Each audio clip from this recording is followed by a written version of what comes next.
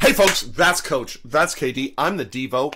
We're going to talk about the World Juniors, which are underway out east in Canada. We dropped an early one to those pesky Czechs before rebounding to Germany and Austria and putting up some big points. KD, do we need to be worried? Well, it's a one and done tournament, so you should always be worried and concerned. But the Canada has the best roster out there, so grab a beer and enjoy the Bedard show. Coach, Yeah, I'm a big Canada fan. Uh, got him up here. Um, nine first round picks, guys, none of which are Connor Bedard. They got to get going here, and if they do, we'll be just fine. yeah, putting up big points against Austria, Germany, that's okay, but they did not look very good on Boxing Day. I think they'll be there to the end, but the Czechs made them look pretty pedestrian. That's hopefully they'll get better. We'll follow them right here for you on the Ozone.